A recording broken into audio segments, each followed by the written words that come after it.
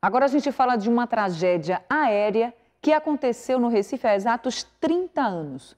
Um avião caiu em uma praça no bairro do Ipsep, na zona sul do Recife, deixando 17 mortos. Duas vítimas, uma delas uma criança, estavam na praça. O tempo passou, mas a memória daquele dia ainda está viva entre os moradores do local.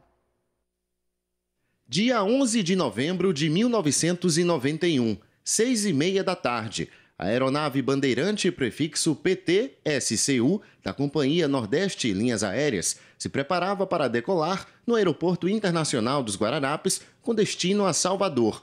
No trajeto, faria duas escalas em Maceió e Aracaju, mas a viagem que estava prestes a começar seria interrompida por uma tragédia. A perícia concluiu que o avião apresentou problemas cerca de três minutos depois da decolagem.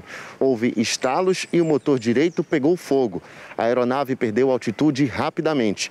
O piloto chegou a evitar a colisão com alguns prédios da Avenida Recife, mas já aqui no bairro do Ipicep bateu nos telhados de algumas casas e caiu nesta praça, onde explodiu. A dona de casa, Eunice Ribeiro, viu tudo de perto e lembra que foram momentos de desespero. Ele já vinha de lá, já abaixo, saltando fogo. Entendeu como é? Sim. Aí bateu no poste, no fio caiu todinho, os fios.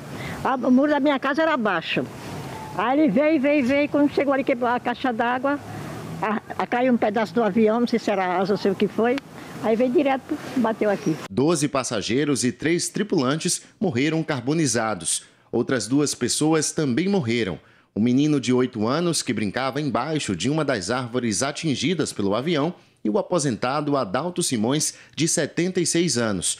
O filho dele, Marcos Simões, diz que o pai estava no jardim de casa quando foi ferido pelo fogo vindo do avião. Eu já vi meu pai quando ele chegou aqui na esquina, ele dizendo para mim, ó, oh, tô todo queimado aqui. Aí um senhor que ia passando aqui num carro, numa caminhonete, aí vamos botar ele aqui para a gente levar. Aí já botou ele, foi para o PAN de Areias.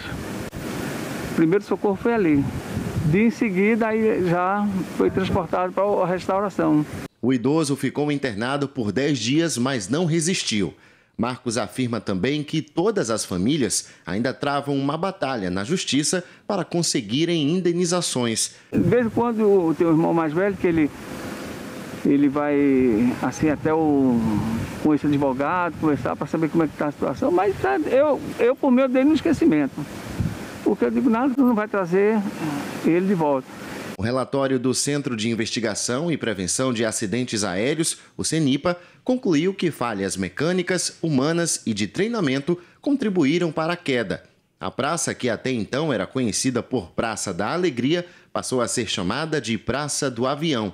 Mesmo 30 anos depois, alguns moradores ainda temem uma nova tragédia. É o caso da aposentada Maria do Carmo. É sempre uma expectativa. Eu não quero acreditar que um raio não cai. Não quero, como é que chama? Esperar para ver, não, sabe? Que o raio não cai duas vezes no mesmo lugar, né? Isso aí eu não tenho muita fé nisso, não, mas espero realmente que mais nunca passemos por isso. Foi muito triste.